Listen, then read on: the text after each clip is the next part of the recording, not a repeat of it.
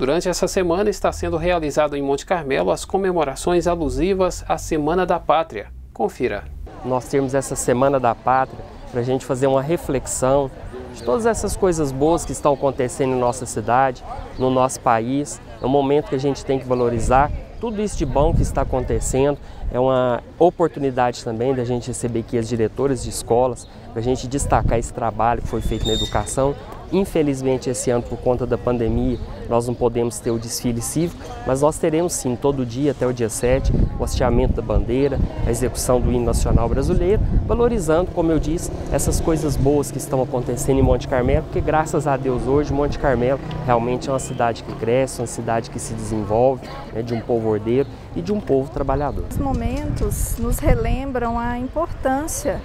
é, da união de todos, a importância de valorizarmos a nossa pátria, valorizarmos o nosso estado, o nosso município,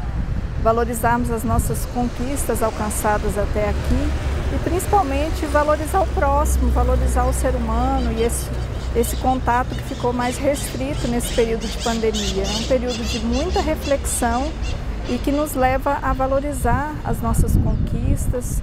e refletir o que, é que nós podemos melhorar.